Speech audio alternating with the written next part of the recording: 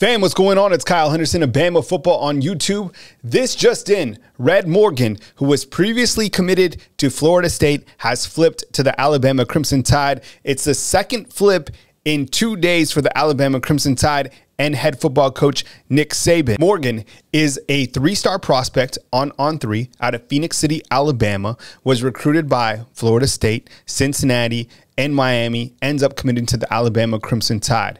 Now, isn't it ironic that there was several headlines that had came out that says Nick Saban works with the defensive backs and he's a defensive backs coach and then coach Saban starts flipping all these secondary players from Georgia, from Florida State to Alabama. I think it's clearly worked out really well for defensive backs that have come to Alabama and have been coached by Alabama's defense in along with Nick Saban. Now, when you watch Morgan's highlight tape, one of the things that really stands out to me, he's a playmaker. And I think each of these defensive backs that Alabama has landed over the last two days are very physical defensive backs. They make very good tackles in the open field, which I think is very important.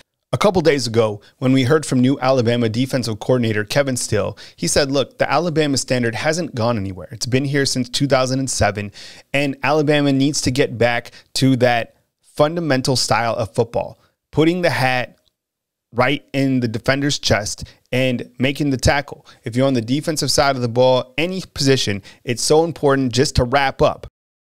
I love the fact that Alabama has landed another in state prospect. You got to take care of your backyard.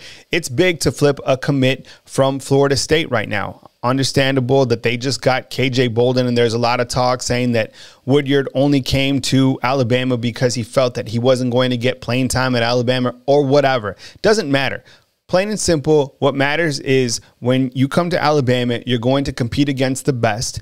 Alabama has built the NFL recently. The NFL, in my opinion, is built by Bama. The secondary has been loaded for quite some time. And if it's coached by Nick Saban or whoever, Travaris Robinson does a great job. Kevin Steele is going to be back there as well.